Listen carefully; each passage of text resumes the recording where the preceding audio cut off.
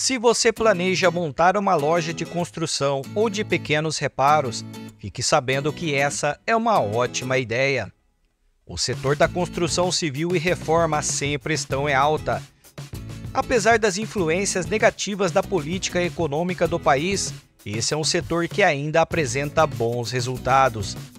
Antes de começar sua loja, é bom saber fazer algumas análises ter um plano e encontrar bons fornecedores, entre outros. Esse é o ramo que atende a indústria, construção civil e a população que procura por pequenos reparos do dia a dia.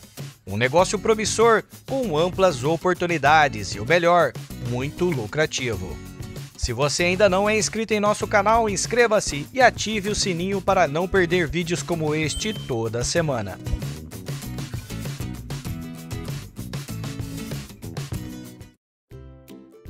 Quais os primeiros passos? Sem dúvida é ter um bom planejamento em detalhes. Para começar, abra um CNPJ-ME com KENAI específico em materiais de construção. Suas compras no atacado de mercadorias só serão possíveis através do seu CNPJ. Só com ele você consegue bons preços nos atacadistas. Para abertura da empresa e CNPJ, procure um contador que entenda do ramo de construção civil ou similares. Análise de mercado. Mesmo que esse seja um setor de sucesso, é muito importante analisar a concorrência local e quais serão seus possíveis clientes. Será que o local não está saturado por esses lojistas? Há público para você? O melhor é que você seja o primeiro na região. Se houver outros, se diferencie deles. Tenha bons preços, ótimo atendimento, boa divulgação e muita variedade de produtos. Estrutura O Sebrae indica uma área de no mínimo 100 metros quadrados. Porém, eu conheço lugares que são bem pequenos, com 40 metros quadrados e vendendo produtos igual água. Por isso, se você tem pouco dinheiro, comece pequeno. Seu local precisa ter boa ventilação, iluminação, com balcão, prateleiras e gôndolas. Seu cliente precisa se sentir à vontade. Se você optar por ter os materiais como pedra, areia e cimento, é preciso um local externo que caiba no mínimo 4 metros de areia e pedra. Com pedidos maiores do que esse, faça encomendas direto ao seu fornecedor e ele levará esse material direto ao seu cliente. Material de construção ou pequenos reparos. Se você tem pouco dinheiro, uma loja de pequenos reparos é o ideal. Já para uma casa de material de construção, é necessário uma estrutura externa maior e ter no mínimo um caminhão pequeno para as entregas. O que vender em minha loja? São mais de 2 mil itens não daria conta de passar tudo a você, mas as categorias são: Número 1. Materiais básicos como pedra, areia, tijolo, bloco, ferro, cimento, cal, entre outros. Número 2. Hidráulica, como canos PVC, conexões, caixas d'água e forro PVC. Número 3. Elétrica, com fios, tomadas, disjuntores, lâmpadas, luminárias, eletrodutos, entre outros. Número 4. Tintas no geral, vernizes, massas, solventes e materiais de pintura. Número 5. Ferragens com pregos variados, parafusos, buchas, arruelas, estribos e encartelados. Número 6 portas e janelas de metais, alumínio e madeira, também itens como dobradiças e fechaduras. Número 7. Pisos, porcelanatos, azulejos, argamassas, rejuntes, soleiras, entre outros. Número 8. Máquinas e ferramentas como serras, parafusadeiras, ferramentas de pedreiro, elétrica e carpintaria. Número 9 louças para banheiro, entre outros acessórios. Número 10. Produtos para climatização, impermeabilização, segurança, itens para casa e decoração, entre muitos outros.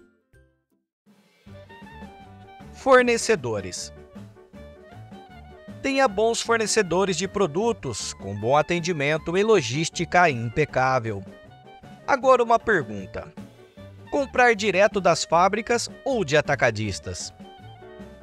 Comprar direto das fábricas é uma opção mais barata, porém a quantidade mínima de pedido para cada produto é grande.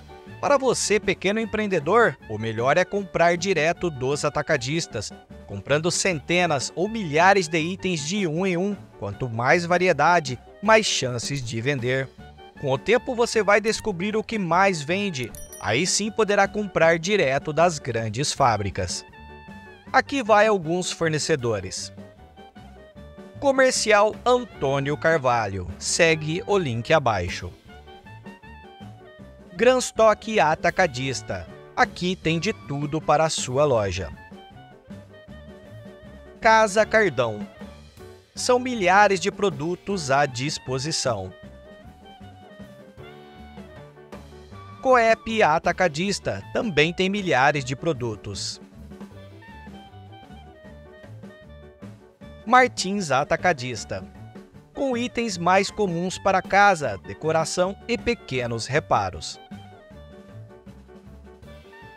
Existem muitos outros fornecedores. Se você conhece mais algum, nos diga aí nos comentários. Isso pode ajudar outras pessoas, ok? Lembrando que o nosso canal não tem vínculos lucrativos com nenhum desses fabricantes. Isso é apenas uma forma de ajudar você na procura de bons fornecedores. Tenha um software.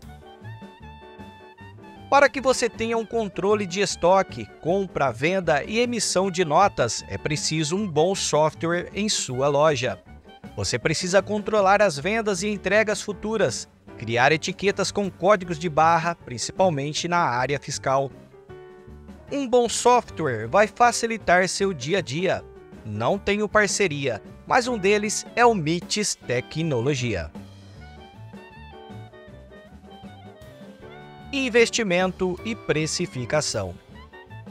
Não existe investimento com valor fixo. Quanto mais dinheiro você tiver, maior e mais completa vai ser a sua loja. Há empreendedores que começaram com 20 mil reais e outros com 50 mil. Só é preciso estar ciente de cada centavo investido no negócio. Compre só o necessário. Lembre-se de guardar uma quantia para o giro de caixa mensal e gastos extras. Precificar o produto é muito importante. Se precificado errado, seu negócio pode ir à falência muito rápido. Precifique seus produtos individualmente ou por categoria entre 40% e 70%. Uma boa margem de lucro da loja depois de ter pago tudo é de no mínimo 8% do faturamento. Abaixo desses 8%, você corre um grande risco de fechar as portas. Dicas finais. Procure ter o máximo de mercadorias diversificadas em seu portfólio. Tenha funcionários capacitados. Procure um bom contador, pois serão inúmeras as burocracias e legislações para abrir uma empresa sob as leis do país. Invista em marketing e propaganda. Comece pelas redes sociais, rádios e panfletos na sua cidade Quanto mais aparecer, maior vai ser a sua chance de ser conhecido e lembrado. Então é isso, pessoal. Gostou desse vídeo? Tem algo a dizer? Faltou alguma coisa? Nos diga aí nos comentários. E não vá embora. Quer saber como montar uma loja de ferramentas e ferragens? É só clicar nesse vídeo aqui e nos vemos logo mais.